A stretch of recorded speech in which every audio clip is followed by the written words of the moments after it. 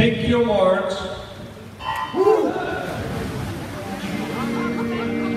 Oostanje verlinden tussen de gele lijn en de twee snelste heren van vanmorgen. En dan op naar de finish met de andere zwemmers.